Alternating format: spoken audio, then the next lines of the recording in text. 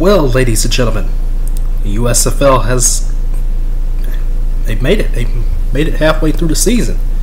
Surprising, right? I know, crazy, crazy stuff. At the end of the day, Michigan Tampa Bay. We got to start off with that. Um, you know, Tampa Bay wins this game. Ta'amu threw two TD passes to John Franklin, Derrick Dillon, and I mean, Michigan just let this game simply get away from them. I mean, you had Shea Patterson throwing for over 300 yards. You had you had the Panthers playing efficient football. You had them playing good football, and yet they lose on a fumble. Thanks, Emmanuel Beal. Thanks for that. You know, it's good stuff right there. 27 20 Tampa wins against Michigan. Um, Saturday was just one game. Keep in mind the Michigan Tampa Bay game was on Friday night. New Orleans, New Jersey, the honest to God game of the week, in my personal opinion, but it didn't turn out that way. It did not turn out that way at all. Uh, DeAndre Johnson had 252 all purpose yards as New Jersey beats New Orleans 27 17, and the Generals' defense was just on point.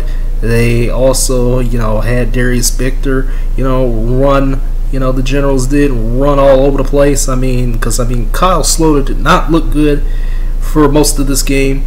He he, look, he looked off in that first half. He had a little second half surge, but unfortunately, Shalom Lueni picked him off twice in this game, and that's not a recipe for success that you want right now. You not you don't want that. New Orleans they suffer at L right there. Sunday was two games. Um, Philadelphia just let this game against Birmingham slip away from them. They had Paul Terry and Matt Colburn, you know, running it up on the Stallions at first, but then you know J'Mar Smith, you know, does it again along with Alex McGough tossing a TD, but Smith with two TDs, one rushing, one passing. They also could the Stars couldn't stop CJ Marable either. He had 114 yards and a TD as well.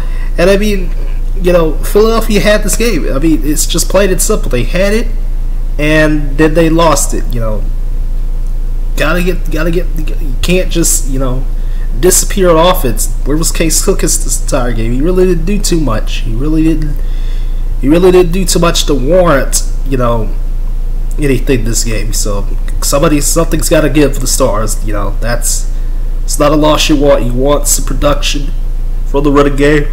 You got it, but you need everything else. You need all three phases to step up. And unfortunately, the defense just could not stop the Stallions when it mattered, and the passing game was just not there for the Stars either. And then Pittsburgh Houston, which just ended about, I don't know, maybe like 40 minutes ago or so, by the time you're seeing this.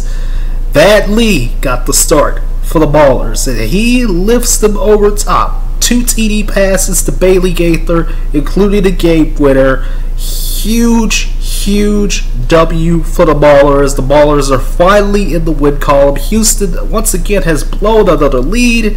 Clayton Thorson, he played well you know, he had an injury to his right hand, I believe, but it didn't matter. That did not matter. When this gambler's defense continues to gamble and lose by not playing defense, you know, when they need to be playing defense, because, I mean, again, that's like the third or fourth straight game that they've let a game slip away from them. They got to do better. You got to do better, guys. You got to do something better.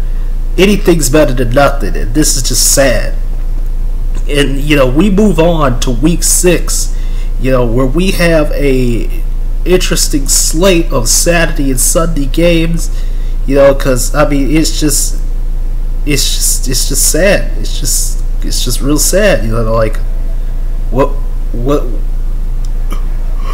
like well, like what now? What now huh? What now?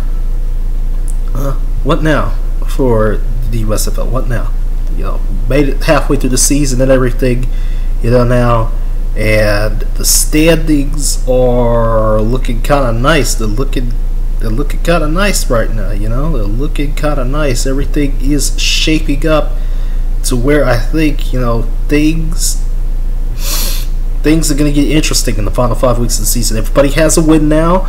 You know, remember top two teams from both divisions get to go to the USFL playoffs, the semifinals out in Canton, Ohio, and you know the races are on now. Everybody's got to win. Everybody's in the hunt. Teams need to do something to stop New Jersey and Birmingham right now. I think because they've cemented themselves as the top two teams in the league. You know, you got teams in other tiers like Tampa Bay, Philadelphia, Houston, New Orleans. You know, still in a weird place. Then you got Michigan and Pittsburgh. Even though Pittsburgh got their first win, you still those two teams there, Michigan and Pittsburgh, they're still in a weird place right now. Where I just don't. I still think the bottom two teams in this league, and you know, again, I mean, Michigan has plenty of problems. I mean, Pittsburgh also has problems because I mean they've had several starting quarterbacks at this point, and but I mean, hey whatever gets you to W gets you to W, and that's good stuff right there. And keep in mind, all these USFL games have been pretty close too. That's another thing. They've all been pretty close, and I like that. I like that a lot. So let's keep that up for week six. Can't wait to see y'all on Friday to talk USFL week number six. We'll see if there's any other news, you know, coming in.